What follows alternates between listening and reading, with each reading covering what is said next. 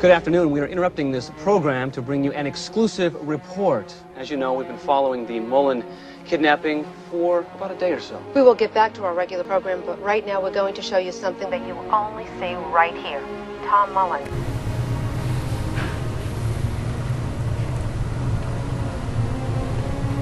The whole world now knows that my sound box was kidnapped three days ago. This is a recent photo of him. Lexi, if you're watching, I love you.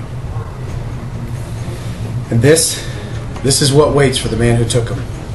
Two million dollars, your ransom. Unmarked bills. But this is as close as you'll ever get to it. You will never see one dollar of this money because instead, I'm offering this money on your head. Dead or alive, it doesn't matter. So congratulations. You just became a $2 million lottery ticket, but the odds are much, much better. Do you know anyone who wouldn't turn you in for $2 million? Because I don't. I don't think you do. But this is your last chance to do the right thing. Return my Boxy alive, unharmed, and I will recall this bounty.